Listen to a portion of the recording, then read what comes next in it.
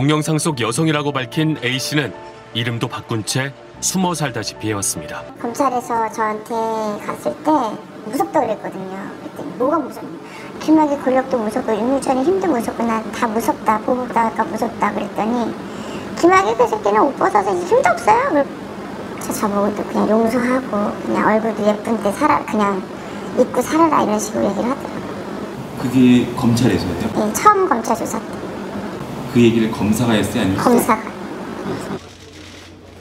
A 씨는 2006년경 지인들 모임에서 건설업자 윤중천을 처음 만났다고 합니다. 자기 별장인데 너무 좋고 뭐 자랑을 하더라고. 거기 아줌마가 밥을 잘해주시는데 밥도 먹고 뭐 거기서 한 시간 거리면 간다고. 별 의심 없이 별장에 들렸다는 A 씨.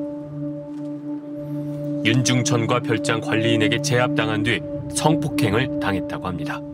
저를 막 야, 너는 내 얘기만 잘 들어야 돼. 뭐 욕을 막 하고 저를 막 뺨 때리고 이따 누가 올 거니까 잘 모셔야 된다. 뭐 이렇게 잘 모셔야 한다는 남자. 그 남자가 별장에 왔다고 합니다. 그가 바로 김학의 전 법무부 차관이었다는 것. 김학의는 2006년 당시 인천지검 차장 검사였습니다. 검사인 거는 본인이 알려줬나요? 아니 윤중천이가 뭐라고 하면서 소개했나요? 엄청난 사람이라고 얘기를 했었어. 엄청난 사람이고 힘, 어, 저 사람이 어떤 사람인데 네가 그렇게 하냐 뭐 이런 식으로 검사라고 저 사람이야 검사라고 얘기를 하고 근데 저는 그때 당시 벌써 임중천에서 벗어날 수 없는 상황이 됐었어요. 왜요? 사진도 찍히고 별장에서 처음 성폭행 당했을 때 이미 윤중천이 촬영을 했다는 겁니다. 걔는 수시로 그런 걸 잘 찍어요. 뭐라고요? 하고 있다는 걸 보여주는 거죠. 말안 들으면 다. 그래서 결국 했잖아요. 우리 집에 다 뿌렸잖아요. 가족들한테? 네.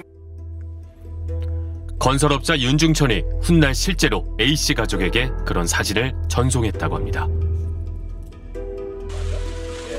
동영상을 공개해버리겠다는 윤중천의 협박. 여성 A 씨는 공포에 휩싸였다고 합니다.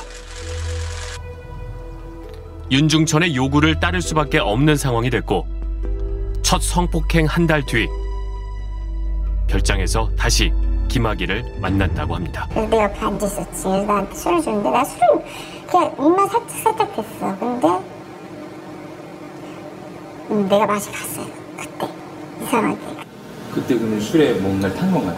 그런 것 같아요. 그 입 잠깐 됐다고 취하고 막 그러고 몸못 가릴 정도는 아닌데 내 몸은 내가 맘대로 못하고 그렇게 시작이 됐어요.